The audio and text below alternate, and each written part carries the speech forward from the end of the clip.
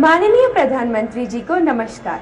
मैं भावना जलाल, केंद्रीय विद्यालय, आईआईटी, देहरादून की छात्रा। आपसे पूछना चाहती हूँ कि तथ्यों के मूल्यांकन के अनुसार हमें यह ज्ञात होता है कि 20 प्रतिशत सफलता इंटेलिजेंस क्वेश्चन के कारण और 80 प्रतिशत सफलता इमोशनल क्वेश्चन के कारण मिलती है। परंतु हम विद्यार्थी ईक्यू को कहीं ना कहीं भूलकर आईक्यू को अपने जीवन में अधिक महत्व देते हैं। अतः महोदय, आपसे यह गुजारिश है कि आप हमें EQ और IQ में समान रूप से संतुलन कैसे बैठाएँ, मैं सलाह दें, ताकि आगे आने वाली बारहवीं बोर्ड की परीक्षाएँ और जीवन में आगे आने वाली सभी परीक्षाओं में हम अच्छे अंकों से उत्तीर्ण हों। धन्यवाद। एक ऐसा सवाल है जो सीधा एग्जामिनेशन से जुड़ा हुआ नहीं है, लेकिन आईक्यू और ईक्यू ये हम लोगों ने सुना है। लेकिन किसी को पूछोगे कि आईक्यू क्या है? ईक्यू क्या है? नहीं, बोले, वो इंटेलिजेंट है आई आईक्यू ईक्यू क्या? तो यार, सुना है, होगा कुछ। कुछ इमोशनल विमोशनल कुछ चलता है। मैं बड़ी सरल रीत से बताता हूँ आपको। एक तो ये बताया जाता है कि आईक्यू का खिलने का जो सबसे बड़ा अवसर होता है, जो विज्ञान से संबंधित लोगों का कहना है कि ज़्यादा से ज़्यादा पाँच साल के पहले ही ये सब ऑलरेडी पनपना हो जाता है। बाद में तो उसका प्रगटीकरण होता है। कोई बालक अपनी माँ उसको झूले में सुला करके गई है और उसको सुला करके उस झूले के ऊपर एक घुंघरू बंधा हुआ है और माँ ऐसे थप मार करके जाती है, उसमें से घुंघरू की आवाज़ आती है। तो आपने देखा होगा, वो बच्चा ये देखता है। दो महीने, तीन महीने, पाँच महीने का बच्चा होगा। वो देखता है कि माँ ने ऐसा किया तो घुंघरू की आवाज़ आई। अब माँ तो अपने काम में लग गई, लेकिन वो अपने पैर ऊपर कर करके उस तक पहुँचने की कोशिश करता है ताकि घुंघरू बच जाए। दैट इज़ आई क्यू समझ आया? उस बच्चे ने, तीन महीने बच्चे ने उसको पकड़ लिया। और उस घुंगरू उसने कोशिश करता है, सोए सोए पैर मार के ऊपर ऊपर कोशिश करता रहेगा। और रोएगा नहीं, कुछ नहीं करेगा, उसी में वो कंसंट्रेशन होगा उसका।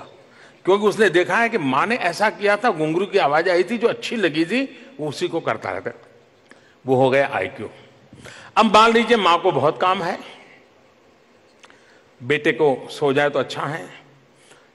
तो बढ़िया सा आवाज़ हो किसी की। बहुत ही अच्छा गाना गाने वाला सीढ़ी हो, वो झूले के पास लगा दे, ताकि वो गीत बजेगा तो बच्चा सो जाएगा। लेकिन बढ़िया से बढ़िया गायिका हो, बढ़िया से बढ़िया शब्द हो, बढ़िया से बढ़िया संगीत हो लेकिन बच्चा रोना बंद नहीं कर रहा है। लेकिन माँ तुरंत किचन से दौड़ के आती है, अपना टेपरकटर बंद करती है और खुद अपनी फटी आवाज़ से ऐसे ही गाना शुरू करती है, बच्चा सो जाता है। ये है ईक्यू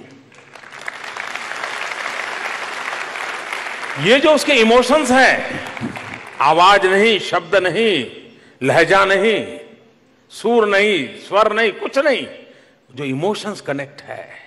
और इसलिए आईक्यू और ईक्यू दोनों का ज़िंदगी में संतुलित विकास अनिवार्य है।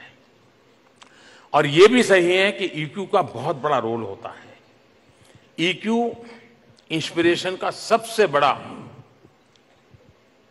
स्रोत होता है। रिस्क लेने की कैपेसिटी भी ईक्यू से आती है। अब ये ईक्यू कैसे बढ़ता है? अगर हम ब्लड डोनेशन करने जाते हैं। तो चलो भाई, किसी ने कहा था, सब ब्लड डोनेशन मैं कर रहा हूँ। लेकिन मैं जब ब्लड डोनेशन करता हूँ, लेकिन पता चलता है कि यार मैं उसको पहचानता था।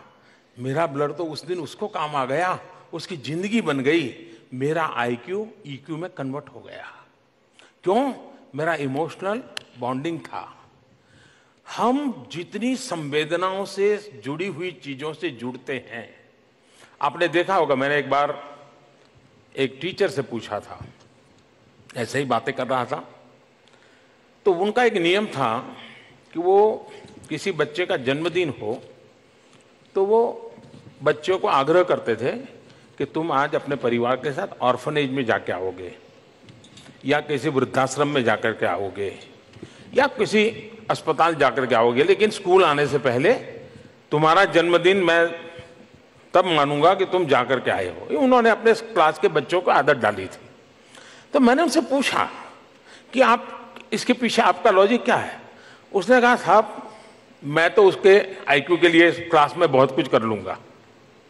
लेकिन वो उसकी ज़िंदगी में उतना काम नहीं आएगा, लेकिन उसका इमोशनल बॉन्डिंग उसकी संवेदनाओं का विस्तार होना ज़रूरी है, और इसलिए मैं बच्चों का जन्मदिन क्लासरूम में ताली बजा करके, केक काट करके, चॉकलेट बांट करके नहीं करता हूँ। मैं उसको, जहाँ दर्द है, दुख है, पीड़ा है, संवेदना है, उस जगह पर जाने के लिए प्रेरित करता हूँ। और वो उस दिन, जन्मदिन होने के कारण बहुत ही सेल्फ कॉन्शियस होता है। उसकी सारी मनस्थिति स्वकेंद्रित होती है।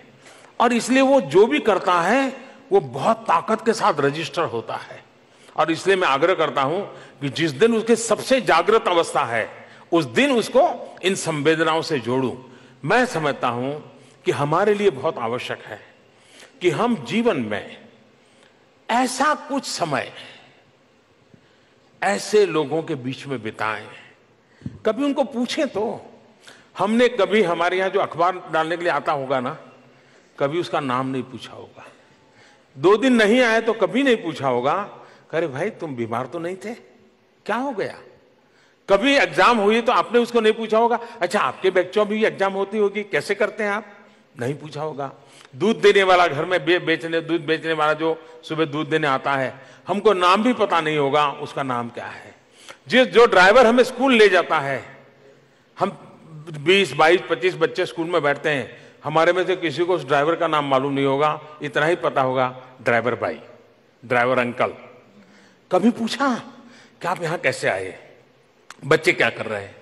आप देखिए, आपका खुद का सोचने का तरीका बदल जाएगा।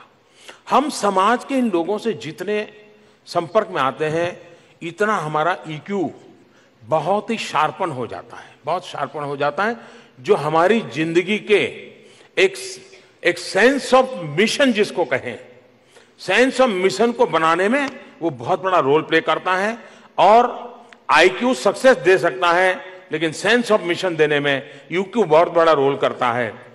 और हमने अभिभावकों ने टीचर्स ने यू ईक्यू के प्रति लगातार फोकस रखना चाहिए, तब जाकर के खेल के मैदान में प्रतिस्पर्धी को मात दे दी।